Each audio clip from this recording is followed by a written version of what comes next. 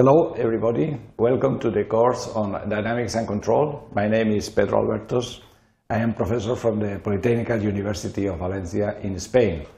The topic of today will be models of systems and signals. This is the third uh, session on that. And in particular, we are going to deal with the formalism. In the previous days, we saw about the models, uh, analogies and representations. And today we will start with the, uh, trying to formalize the representation of uh, these models. so if you consider, for instance, a continuous time signal, like that one the on the screen, uh, y of t equal y of 0, sinus of wt plus phi, then uh, if you want to mm, represent in a compact form, you realize that here the three, there are three parameters. The magnitude, y0, the frequency, w, and the phase, phi. So uh, you can also use some kind of transformation. Instead of uh, being a representation of the time, like in the screen, you can use uh, something which is called the Laplace transform, which is transforming one signal of uh, time into one, one signal of uh, the another variable which is called the Laplace variable, the complex uh, Laplace variable S. In that uh, case, the same signal, instead of y of t, is represented by y of s uh, equal w uh, s over s square plus w square and y 0. This is a general tool uh, we will see in an uh, appendix something more in detail for those who are interested in the mathematics of the Laplace transform. But here, for instance, if we consider an exponential y of t equal y0 e power of uh, at, the Laplace transform is uh, another uh, function of s, y of 0 over s minus a. And the nice thing is that uh, this equivalence, this transformation is biunivocal. That means that given y of t, you can get y of s and vice versa. In the case of uh, discrete, uh, discrete time signals, you can see here uh, that this signal can be represented by a sequence, uh, a sequence of uh, numbers. The value of the, sig the signal at time 0, 1, 2, 3, and so on. And you can also represent that in a compact form, like a, a function y of k, for k equal 0, 1, 2, 3, and so on, can be expressed by this formula. Again, for discrete time signals, you can use the Laplace, the Z transform, which is equivalent to the Laplace transform. And if you uh, see in this uh, expression here, we are using what is called the delay, delay operator. The delay operator, z minus 1, uh, expresses that here you can see that uh, y of z is equal 0 uh, plus 1.5 z minus 1 plus 2.25 z minus 2 because there are two delays and so on. Then you have a mm, transform. And in many cases, this uh, z transform can be sum, uh, sum and then you get this compact expression. Well, uh, in this case, the parameters of this uh, representation are not precisely the same that those in the sequence, but uh, you can see that the number of parameters is limited. Here there are only three or four parameters, whereas in the sequence you have an uh, infinite number of uh, parameters. So if now we consider a system, and we saw the other day that the simplest way of uh, representing a, a, process is by means of an algorithm. Uh, for instance, here we have this uh, very simple algorithm, y of 0 equal 25, and then recursively for, for, k equal 1 to k equal 100. We have this recursive expression, and then we represent uh, y uh, of uh, k, then this is the model, and the model can be also expressed in a compact way. So, this model, if we again consider the delay operator, then uh, y of k uh, equivalent to y of z, u of k it's equivalent, uh, equivalent to y of z, and y of k plus 1 is z uh, y of z. And then by means of the, the operator, this can be transformed in this way, and then we define what is called the transfer function of the plant. we will see some examples to uh, realize what that means. For instance, in the case of a tank uh, system, we have seen before, uh, we made a water uh, balance. That means that the uh, flow inputting the tank, it's equal the flow outputting, outlet uh, flow, plus the flow retained. The outlet flow is a function of the height of the, the level of the water. And the retained flow uh, depends on the, also on the um, amount of uh, water um, kept inside the tank. And you can see here in this formula that uh, the um, flow Q of R times the time, it's equal the area of the uh, tank times the increment of the uh, level. So we can transform this in this way, and this is a differential equation which is representing the tank system. And we can do that for um, any system as far as we know what is happening inside the system. For instance, remember this electric circuit. We have the resistor R, the capacitor C, and then we can make again a balance of uh, voltages. And we can say that the input, uh, the voltage at the input is equal to the voltage in the resistor plus the voltage in the uh, uh, capacitor. And in the capacitor, the voltage is equal to the charge accumulated in the capacitor divided by the uh, capacitor C. so, but this accumulated charge depends on the current through the capacitor in the previous time from minus infinity to t. This is the integral of, or the accumulation of the mm, current. And in this expression, we can uh, use the derivative and also say that the current is uh, proportional to the derivative of the voltage with respect to the time. And then altogether makes this uh, equation. And altogether, if uh, um, we can rewrite in this way which is a model of the electric circuit. And this model is uh, very mm, simple to be modified, also applying the Laplace transform. So the Laplace transform has a number of uh, properties that we will see in the appendix or in this uh, extension for mathematical basis. Uh, first of all, the unicity. Uh, for each uh, y of t, we have one and only one y of s and vice versa, is a, a linear operator. That means that the Laplace transform of the sum of, uh, of a combination of signals is equal uh, the combination of the Laplace transforms of the signals. And this is a very important property. The Laplace transform of the derivative is the function, the Laplace transform of the function multiplied by s. And this property will allow us to transform a differential equation, like here, like here, a differential equation into an algebraic equation. So if we apply this to this equation here, the derivative is converted into S times uh, W, uh, V, uh, the voltage, um, and this is equal to this expression. And then uh, we can um, extract the value of the voltage in the capacitor.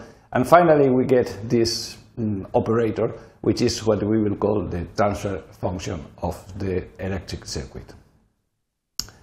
The, this operator will allow us also to um, uh, model the system experimentally. Assume that we have a system and we apply an input which is constant. The value is uh, uh, fixed 10, 10, 10, 10, 10. So we mm, use the Z transform of this signal, that is in that case 10 over 1 minus z minus 1, And then we get this response. This is the response of the system that we don't know what is happening inside. And then uh, we are able also to get the Z transform of this signal.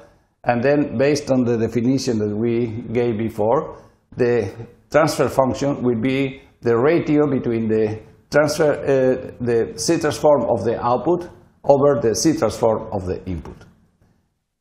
We can get this model based on the knowledge of the behavior of the mm, system, like in the case of the electric circuit, or the tank, or the oven, or many other systems. But if we don't know what is happening inside, we can get experimentally the model of the plant.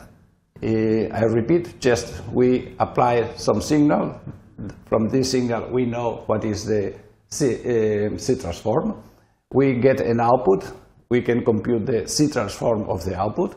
And the ratio between these uh, two Z transforms is the uh, transfer function. Once we get the transfer function, we can use uh, some properties. For instance, we can combine two systems in series. If we have uh, the system 1 and the system 2 with transfer functions G1 and G2, the total is equivalent to the product. So instead of having two equations to represent each one of the systems, we can combine in one single operator. If we have a parallel composition, then again we can say that the output y is the sum of the output of uh, the system 1 and the system 2, and then the, global system can be represented by the sum of the operators. Even more complicated, we can have a, what is called a loop arrangement. In that case, we can very easily, and we will see that also in the uh, appendix if you are interested in, that we can derive what is the ratio between the output and the input, which is given by this formula. So uh, by knowing the model of the components and the structure, we are able to derive the uh, model of the whole system. uh, the kind of system that we have uh, seen until now can be classified according to the signals we are dealing. Continuous time, discrete time, uh, logic of binary systems, deterministic or stochastic systems, approximated or concrete systems, monovariable or multivariable systems. And also, uh, we can, uh, according to the operator, define the system as a linear one or nonlinear. A linear is when the uh, superposition uh, applies. That means if the input is uh, y and the in, input and the output is o, sorry, if the input is u and the output is y, if the input is uh, 2 times u, the output is 2 times y. That is a, a linear operation. And we are also dealing with uh, dynamic systems, like in the case of the electric circuit, where there is a history that we are retained in the model, the accumulation of the charge in this case. And this is a time variant. That means that it doesn't depend on the times the capacitor, the resistor are constant, so it's a time invariant. And it's uh, concentrated. That means that all the variables only depend on the time. They uh, don't depend on the space. For instance, if we consider the temperature in this room, uh, the temperature is not uh, constant in any point in the room. And in that case, this will be a distributed system. Of course, the model of the systems, when they are nonlinear, when they are uh, uh, invariant or time variant, and if they are uh, distributed, are much more complicated. So, also we can classify the models by the way we uh, obtain the model. In the black box type of models, we only represent the input-output relationship, and this model is obtained uh, uh, experimentally by using analogies, and we are not considering what is inside. So we are assuming that the system is in equilibrium with new uh, initial conditions. In the case of the white box, we know what is happening inside, and we represent the internal and external variables relationships, and we derive a number of equations based on the first principles, and in that case, the initial conditions are considered. So, the, summarizing, the representations are signals that can be a function of time or a transform, in the Z transform in the case of uh, discrete time signals or uh, the, the Laplace transform, and the systems that are represented by an operator, the transfer function. What have we seen today? Well, we have seen uh, the formalism in modeling systems and signals. In particular, we have seen what are the main parameters of uh, uh, signal information. And we have uh, used the transformations to represent the signals. And for systems, we uh, have uh, expressed the model as operators or as a, a set of equations. And we have seen how we can deal with the structure of the mm, plant. Let me just uh, mention now a historical curiosity. This is a steam generator, which is a machine which is producing some energy based on the steam produced in the uh, chamber, firing chamber. So, one of the advantages of this steam generator is that the steam that is produced uh, somewhere uh, can be used to move uh, a cylinder and thus this cylinder is uh, moving a wheel and then this wheel just is used for moving any um, machine in a, a, shop floor or in a factory. And you can see here in the middle a small device which is turning. Let me just have a close look here. This is the governor or the uh, speed uh, control. You see uh, here, as far as these uh, uh, balls are moving, if they increase the speed uh, due to the centrifugal force, they will expand. And then they will allow us to close the flow of the steam. So here you can see these two balls, when they are turning, if they uh, increase the speed, they go up, and this uh, cylinder in the middle, B, will go up, and that means that we can close or open um, the flow going to the steam generator. Uh, it's uh, nice to remember that the first time that this uh, problem was tackled in a theoretical way was uh, in 1868 by Clerk Maxwell in the very well-known paper on, on governors. this is a picture, a nice picture of a museum here in Spain, where you can see in, in real in dimension, in natural size, uh, a governor, and you can in this museum also see an antique uh, machine running. So let's uh, explore the control systems their structure, their goals, and the benefits that we can get by them. So what is the next in our course? The properties of the control systems. We have seen till now dynamic systems in general, and now we are going to concentrate in controlled systems, trying to analyze the behavior, either static and dynamic, dynamic and also uh, some other properties like sensitivity and robustness. Well, thank you for your attention.